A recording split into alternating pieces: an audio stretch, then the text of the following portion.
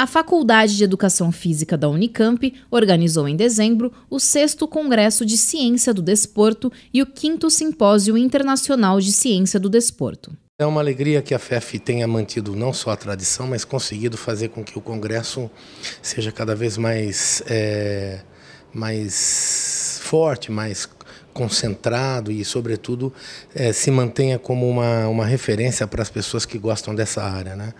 É, vale registrar também, pelo que eu vi na programação que a faculdade montou, é a perspectiva do Congresso ter muitas áreas de conhecimento e contemplar o maior número possível de áreas, fazendo com que nós possamos ter um público diversificado de pessoas e profissionais e fazendo com que essas áreas possam se integrar numa, numa ação coordenada e produzida pela, pelo Departamento de Ciência do Esporte e também pela, pela, pela direção da faculdade pela, e pelo, pelo pessoal que coordena esse projeto. Eu, eu acho que esse projeto ele tem, com esse tipo de, de posição, especialmente num ano difícil como foi esse ano, com carência de recursos públicos, né? nós já tivemos momentos mais de captação de recursos melhores, mas ele acho que consegue hoje, é, ele conseguiu estar assim vivo e atento e ativo esse ano exatamente porque ele conquistou um espaço dentro da agenda é, acadêmica de, de, de, profissionais dessa área que todos os anos já esperam esse momento para poder vir aqui estudar um pouco conosco e também muito nos ensinar. Portanto, eu queria parabenizar a Faculdade de Educação Física pelo projeto, agradecer as pessoas que, que aceitaram os convites da, da faculdade e, consequentemente, da Unicamp para vir participar conosco e, sobretudo, dizer da, da minha alegria de, de ver que este, este projeto, que já tem aí seus 12 ou 13 anos, ele está tá cada vez mais forte.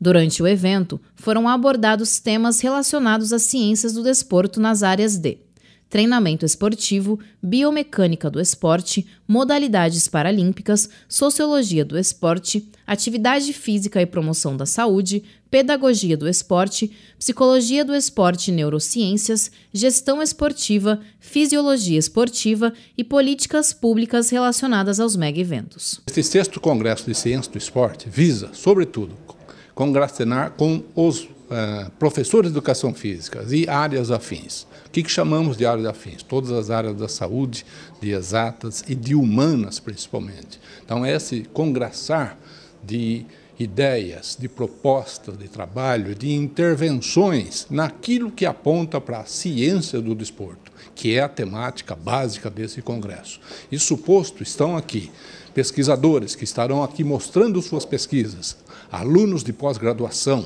nível mestrado, doutorado, alunos de graduação de diferentes temáticas, de diferentes graduações, buscando aqui avanços nas suas carreiras, avanços nas suas propostas de investigação. Então, essa, este é o pressuposto básico deste sexto Congresso de Ciência do Desporto.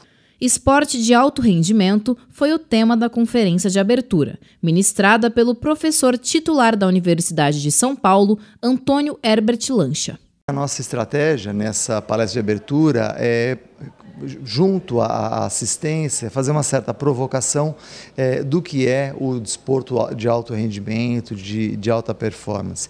Então, colocar as variáveis que são importantes, como a minha área é, de atuação é a nutrição, é lógico que eu puxo um pouco para a minha área isso, mas fazendo provocações para que os alunos, os participantes, de uma forma geral, possam fazer. É, uma nova abordagem sobre o que é o esporte, que é uma das áreas que tem mundialmente maior fonte de recursos. Então você vai ter aí armamentos que tem bastante recursos, né? E o esporte também tem bastante recursos. Então que os alunos criem essa mentalidade bastante é, ampla de que é uma área que é muito possível se evoluir no país, é, mesmo na situação de crise que nós vivemos hoje.